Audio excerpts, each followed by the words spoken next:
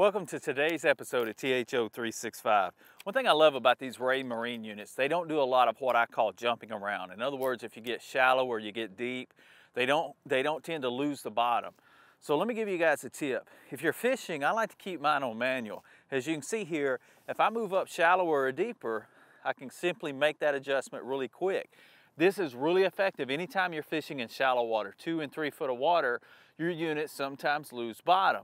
These are great at not doing that. But with any unit, put it on manual, zoom in to less than five feet, and you're always gonna stay on that bottom. This is great in Florida lakes, tidal river systems, or if you're fishing in the spring or the fall of the year in shallow water.